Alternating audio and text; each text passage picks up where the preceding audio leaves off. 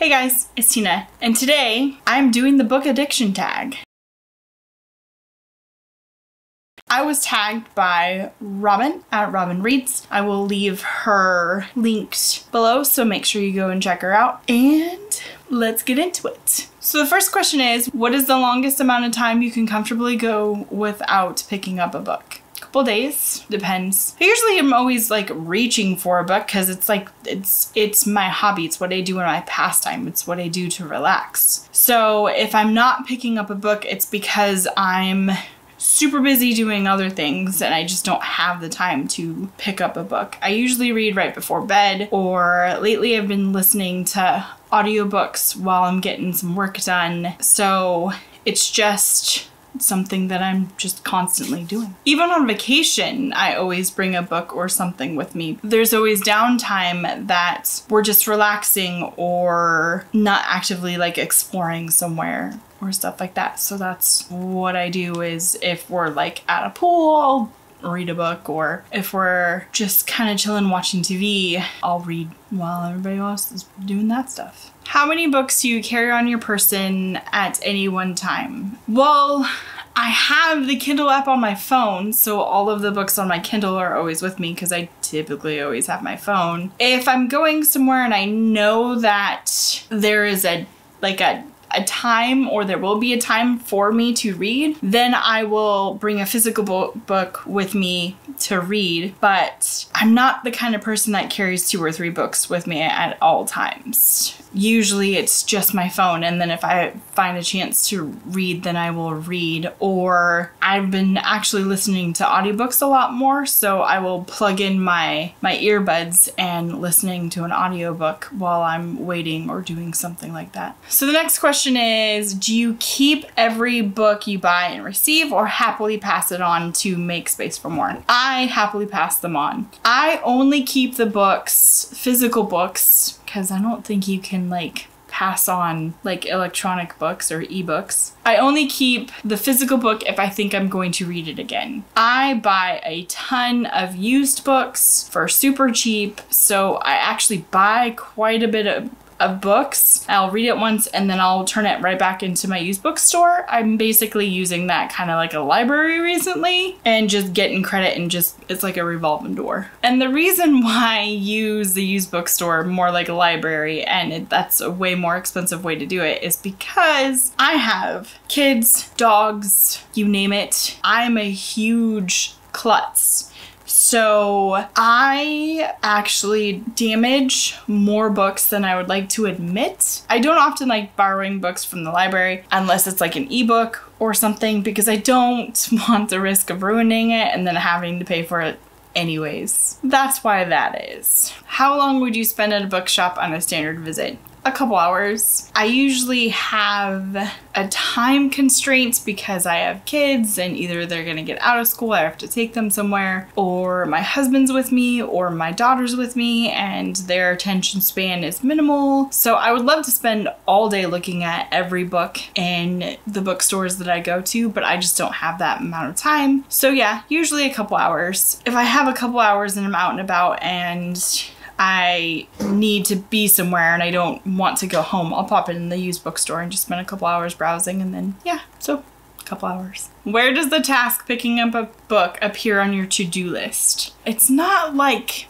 on my to-do list because I usually just automatically pick up a book. I always find time to pick up a book. I usually have to make time to do other things or have a to-do list for other things. Picking up a book is just always there. But I mean, if I would say I set time aside, I usually pick up a book right before bed, always. But it's not like a to-do thing. It's just like watching TV before you go to bed. You don't to-do TV. I don't know. Weird question. Well, maybe it's not a weird question, but I think bookworms just reach for books like other people watch TV, right? Like, do you do you watch more TV than you read books, or do you read books more than you watch TV? Because I read books more than I watch TV. Yeah? What do you think? How many books do you reckon you own in total, including ebooks? I would say I probably have about 200 ebooks. I would say I probably have about 200 physical books. It's 400 about. give or take a smidge. Either way, I don't know. If you want to include like my daughter's books, you could probably add another hundred there. I don't, maybe she's up to 50. I don't think she's up to like a hundred. Probably 50. Maybe not. Yeah, no, about 50. Solid 50, maybe. Huh, I don't know. I'm not going to count them. So maybe about 400, about. Approximately how often do you bring books up in conversation? Mm, depends on the person. I don't have a ton of people who read a lot like I do. So if it's somebody that reads a lot, then we will may talk about books the entire conversation. But if it's somebody who doesn't read at all, I don't bring it up at all because I want to continue to talk to that person usually, so I don't want them to get bored in the conversation. What is the biggest book page count you have finished reading? That would be Oathbringer. Oathbringer is What is it? Oathbringer is 1233 pages and I finished this Bad Mama Jamma uh I think beginning this year. That is for those who don't know, that is the third I believe the third book. Pretty sure third book. Yeah. third book in the Stormlight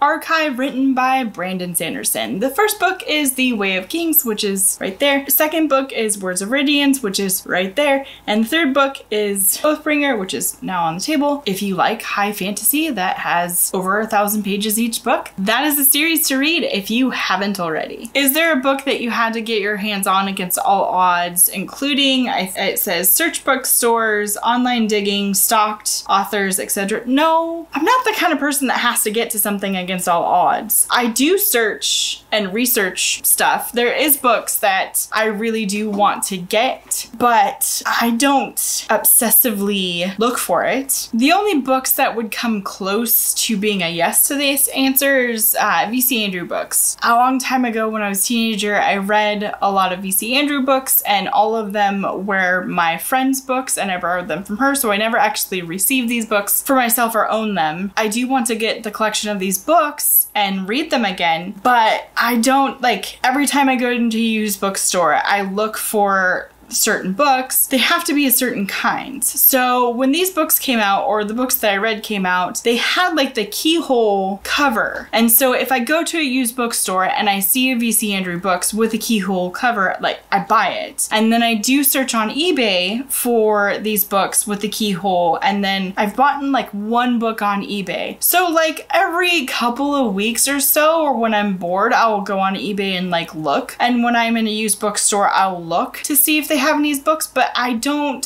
it's not an obsessive thing. It's like a passive, I want to get this collection of these books that I've read before. So that's the only thing that I could really say yes to. And honestly, I've only gotten like four books in the last couple of years that I've been very casually searching. So it's not, it's not anything, it's not anything. Is there a book you struggle to finish because you refuse to DNF? Just gonna put this, not even right.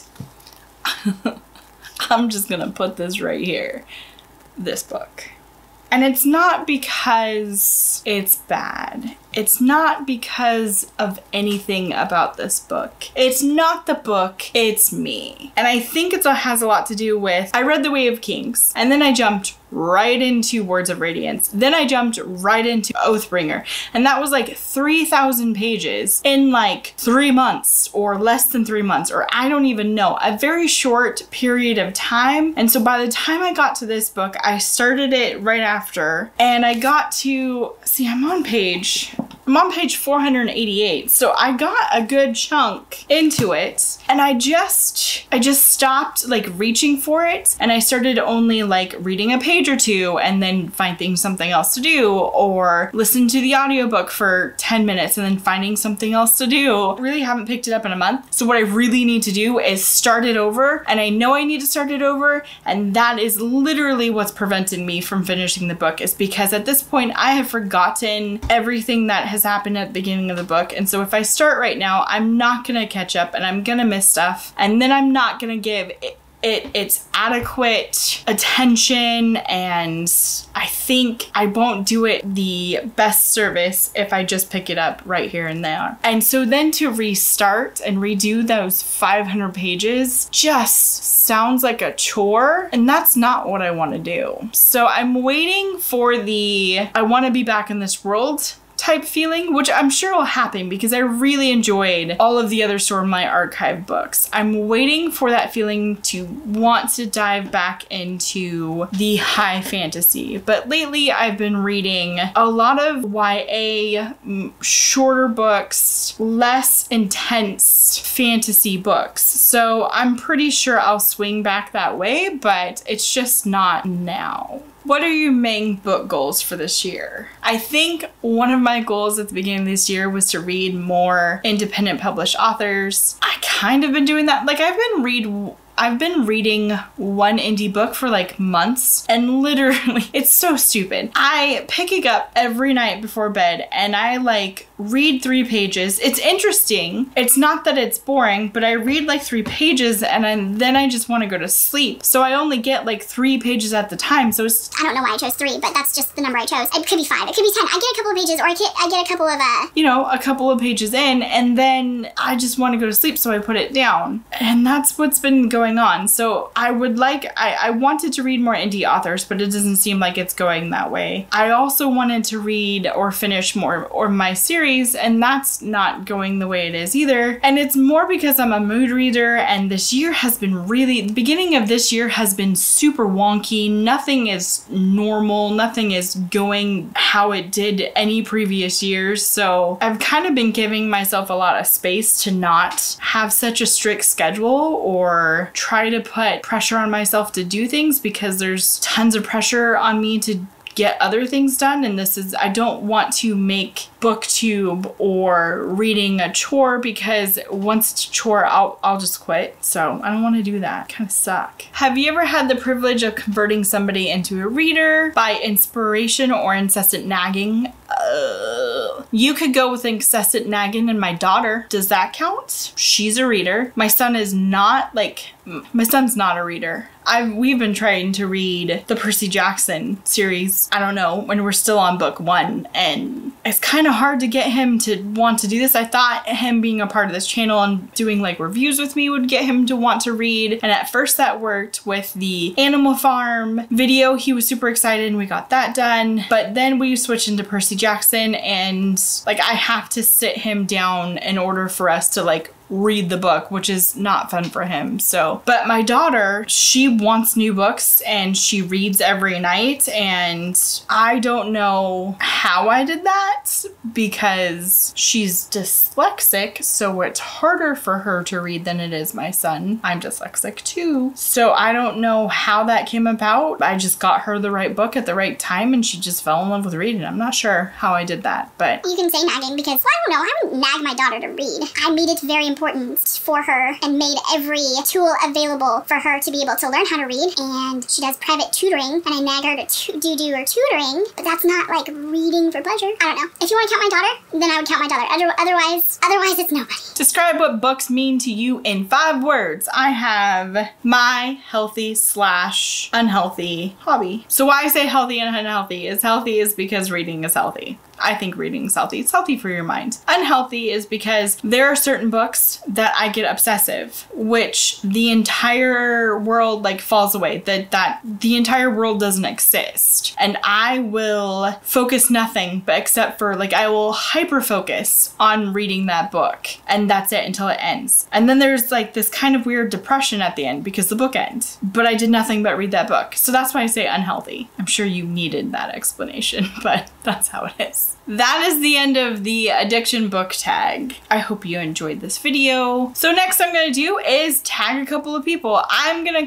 tag Monique from Monique Reads, Kayla, and Kristen from Red Read Wine. I will link them below. I have not checked to see if you guys have done this tag, so if you've already done this tag, super sorry about tagging you again. If you haven't done this tag and want to do this tag, consider yourself tagged. Just leave your video in the comments below so I can stop by and check out your answers because these kind of things super interest me. I like to see how other people read and stuff like that. If you like this video, give it a thumbs up. If you have something to say, comment below. If you've reached the end of this video and you just want to say hi, but you really don't have much to say, give me a peace sign. I do that. I actually go to videos and like I've watched the entire video and I'm like, I really don't have something to say, but like I'm here and I give them a thumbs up and like I kind of want them to know that I was here to know I want them to know that like I'm totally like supporting their channel. I have nothing to say. And sometimes I like I, I feel like I want to leave an emoji and be like, hey, hi, I'm here just saying hi. But then I'm like, well, what if they don't like that? I don't know. Insecurities pop in and then I just